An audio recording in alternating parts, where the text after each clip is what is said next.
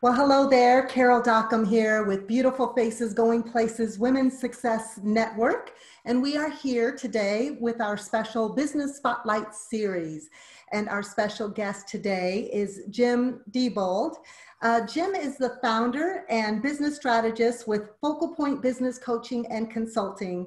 And he has 20 plus years leading and coaching teams between corporate America and business ownership. After being frustrated with a lack of quality time with family, he decided it was time for a change. Like he did most entrepreneurs, get stuck working on their businesses um, instead of strategically working in their business.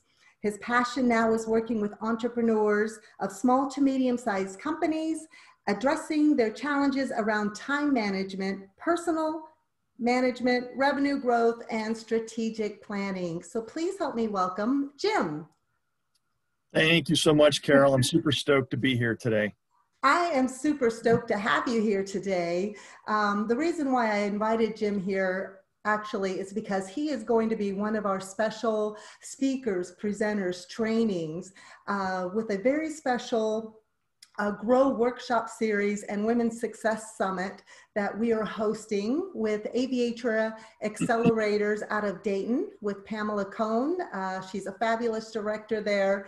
And uh, together we are co-hosting this 2021 and beyond strategic planning, grow workshop series, and women's success summit. So uh, Jim is one of our speakers, and he's actually going to be training this coming Thursday uh, at 12 p.m. Eastern Standard Time. And his uh, passion really is uh, strategic business planning. So he's the perfect person for this.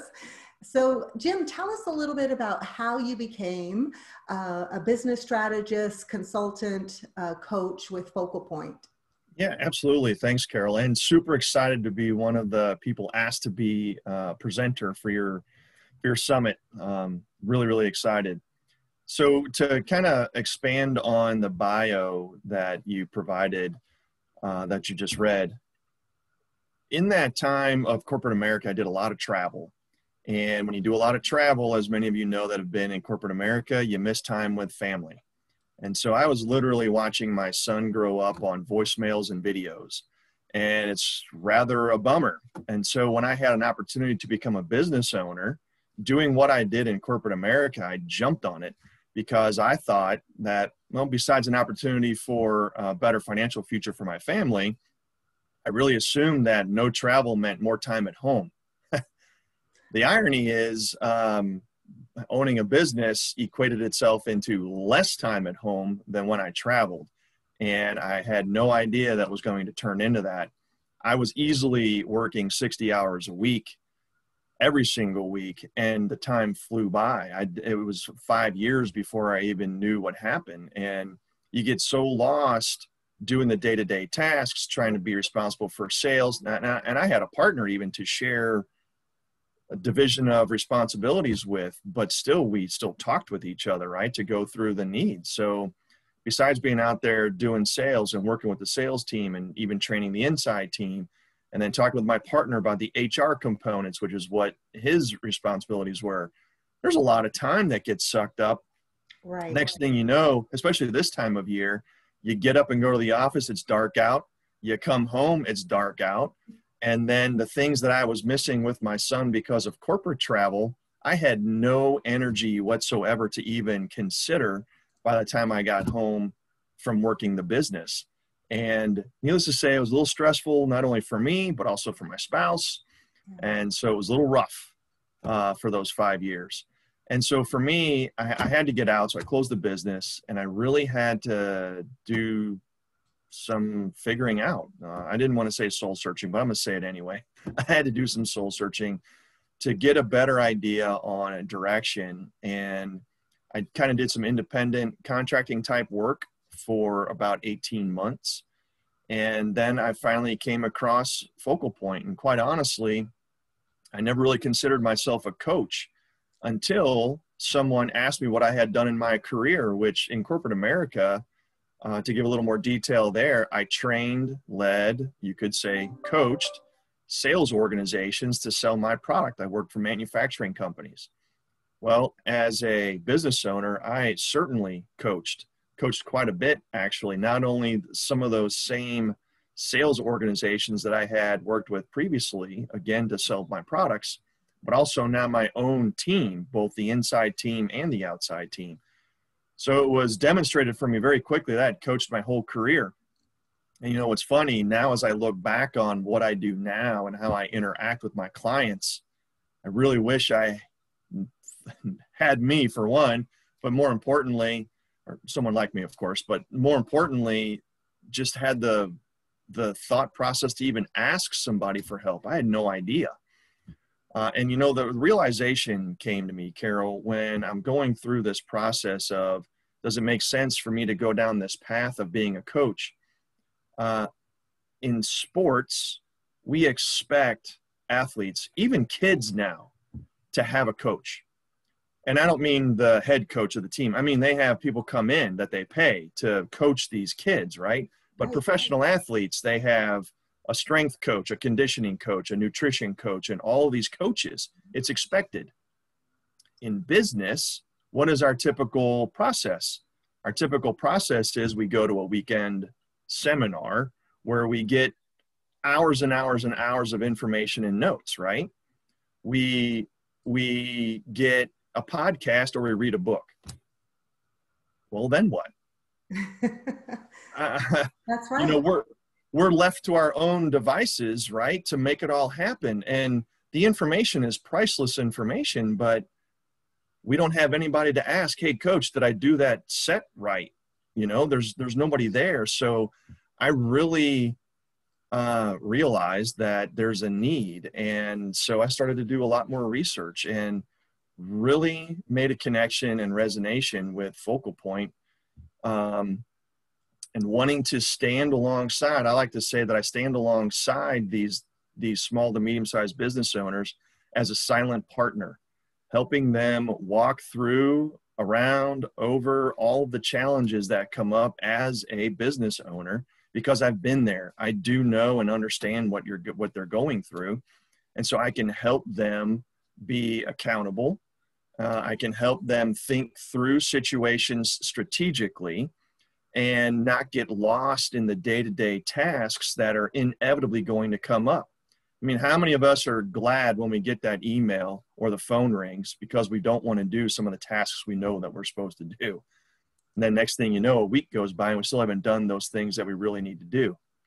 So I get to step in and go, let somebody else handle that email and whatever, and let's work on these tasks that ones that are going to move the needle for your organization and ultimately not only does it free up the business if you will make the business more efficient but there's a ripple effect uh, focal points uh, tagline is pebble on the pond.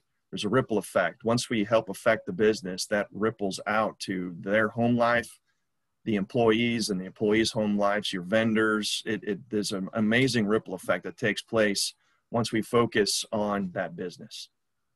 So that's what my passion is. I'm hel- helping business owners not fall into the same pitfalls I did. Yes, exactly. Well, I think that's why I'm really excited to have you uh, be our uh, one of our speakers here this coming Thursday, part of our uh, workshop, Grow Workshop Series and Success Summit, um, because I think um, being a small business owner, uh, small to medium size, um, it's no small feat. There are so many, as you know, so many different facets of running a business um, it's really multifaceted. And sometimes Absolutely. we get lost in the, the, the minutia of day-to-day operations that we're, and we're handling probably tasks that, that can be um, either outsourced or delegated. And um, it's hard to know when to do that if you don't have, if you're not working with a coach and someone to hold you accountable. So I'm also really excited about um, the strategic planning aspect.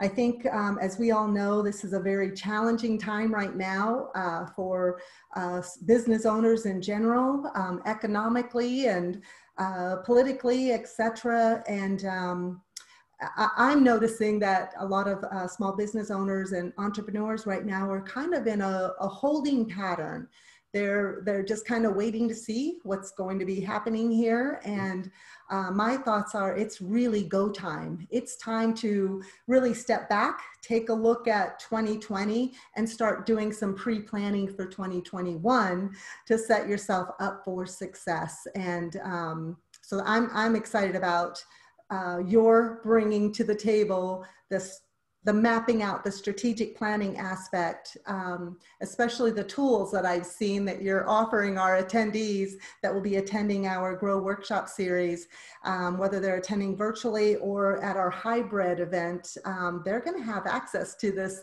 this template, this uh, tool to really um, map out uh, their business strategy. So I'm so excited about that. Um, that's going to be really, really awesome.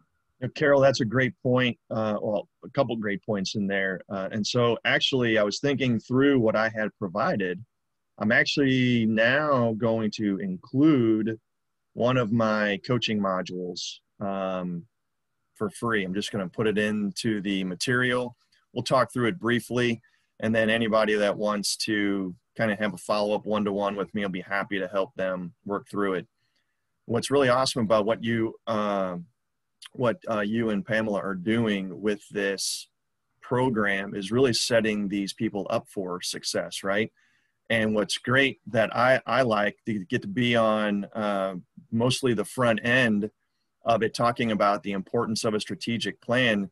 I don't want to give too much away from my presentation, but um, it won't. There's not a lot of PowerPoint to it. Just some cool pictures and a few visuals, uh, mostly conversational because I like to be interactive as much as possible. But bottom line is, you get into business and you don't have some written goals and a written strategic plan. It's like we're in we're in Ohio here, right? So it's like trying to go to North Dakota and your GPS doesn't work, right? And you don't have maps. So you're going to wind up somewhere. The question is where, right? Right. So it's so key to have something that's written to hold you accountable to what you're doing so that when you get distracted, because you're going to get distracted, you have something that can bring you back to where you left off, like getting off the highway at a rest stop or to get gas or whatever, you know, or to get back on and get back on your your trek, so to speak. Um, so really, really looking forward to that. It's so it's so hugely important. And you also made a comment about entrepreneurs uh, kind of standing firm at the moment because of uncertainty. So two things to that. Number one, tons and tons of people, like myself actually, have found and decided that uh, this whole pandemic situation has caused for a lot of reconsideration of what's important and what kind of goals we might have for our ourselves and our lives with our family and whatnot. So a lot of people are jumping ship and starting businesses. Uh, so even more important, why this program that you guys have assembled is hugely important, so they can start off with success. But there's a key thing that you mentioned in there about holding back versus putting the putting the gas uh, down to get moving forward into 2021. There's no question things have changed people's attitudes are different towards business now. Uh, the interactions may change a little bit because their goals may have changed a little bit. Your your potential clients' goals, that is. but for the folks that are working on a strategic plan right now to move into 2021, are already running the track, so to speak, because they have taken time and they have taken focus on how do they change their the goals they had and how do they change the strategic plan that they had? What does it need to look like now so they can run? And they're already running because they've done so. If you're still behind if you're still in the blocks or worse yet if you're still standing behind the blocks shaking your legs out for the race you've already lost in my opinion. Uh, you're way way behind. Right. so if you're just launching your business, that's great. Let's get the strategic plan done and let's move forward. And it's like starting the race. It's great. Yeah.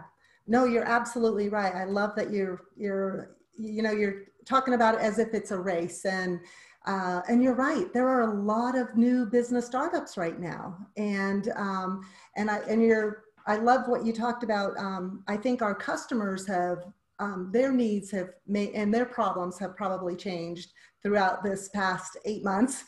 so their yep. needs um, and their problems have changed, and I'm sure product off your product offerings have changed and uh, so many different changes. Uh, I know I can speak for myself at Beautiful Faces Going Places Women's Success Network. Um, we also have had to the word pivot and uh, and and really move into a virtual world. So, um, but I, I, think the point is that um, business can still take place and happen, but you do have Absolutely. to put that foundational work in and map out your strategic plan and really now is the time to be doing that for 2021 versus staying status quo and waiting and waiting and waiting for you know the unknown so right. um, i love thinking ahead and and pre-planning so this is really awesome. I'm thrilled that you're going to be uh, one of our featured speakers. And um, I don't mind sharing a little bit more about uh, this 2021 and beyond strategic planning uh, Grow Workshop series. Basically, what it is, is the next three weeks we are offering uh, virtual workshops. They're one hour per week for the next three weeks leading up to our hybrid event where we will be meeting from 10 to 5 at Indiana Wesleyan University here in Westchester, Ohio. Um, our virtual attendees can also uh, Zoom in and attend live. We will be live streaming this for all of our virtual attendees. And um, and, and really learning from our experts. Uh, Pamela Cone and I have uh, specifically curated experts in various uh, business topics and backgrounds to really present a full uh, a full uh, menu uh, to help small business owners and entrepreneurs uh, tap into whether it's your marketing, uh, whether it's uh, business systems and processes, and or leading teams within your organization. I know, let's see, Thursday we also have BB Connect. She is the CEO and founder of Absolute Web Marketing, and she's going to be uh, really talking about all the new things that's happening with Google you know your business your business website is open 24 7 and uh, there are so many different facets of um, not just putting up your website. I mean there's so many facets in terms of the seo and e-commerce and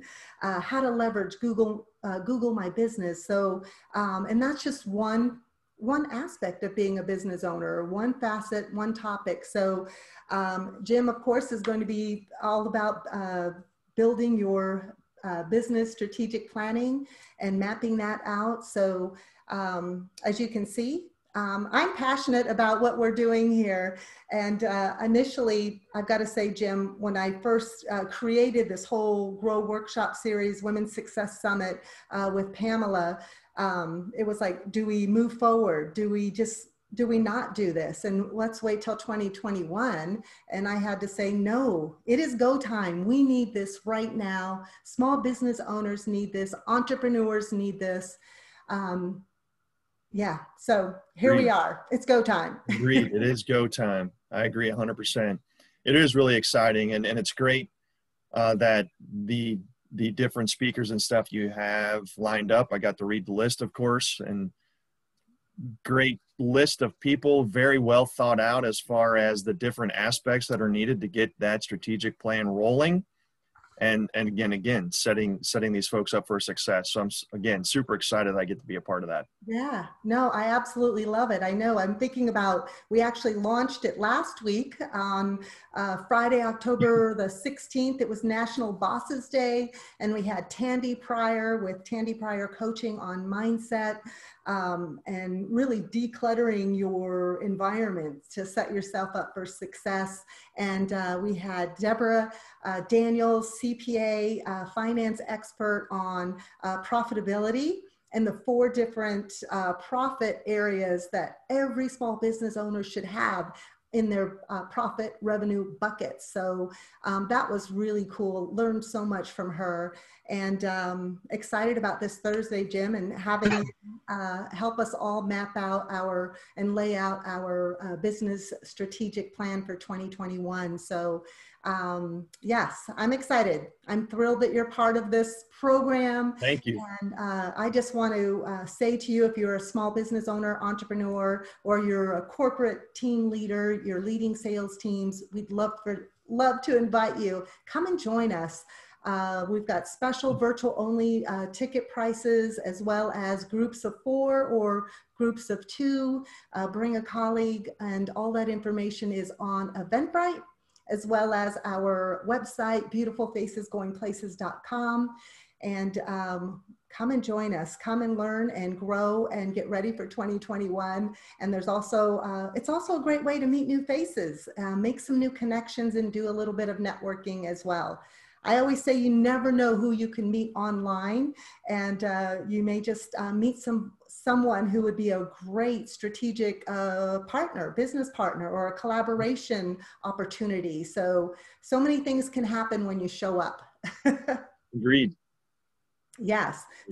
So, Jim, do you have any uh, closing remarks for us as we uh, wrap up our business spotlight together here at Beautiful Faces Going Places? No, I don't. I don't think so. Nothing that really hasn't been said, except to just reiterate that uh, I'm really I'm proud of you as well. This is a great event. It's very well orchestrated and put together. Uh, the the information is invaluable to the folks, so please attend. There's no no question there in regards to what the value is as far as launching your business successfully. And just again, can't say enough how excited I am to have been asked to participate and uh, cleared my schedule so I could participate. So super super uh, ready and excited.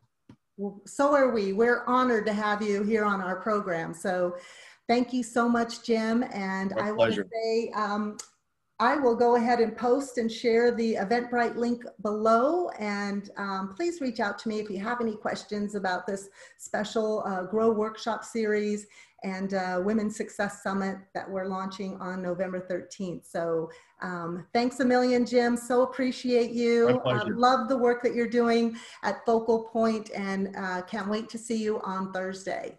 Thanks, Carol. All right. Take care.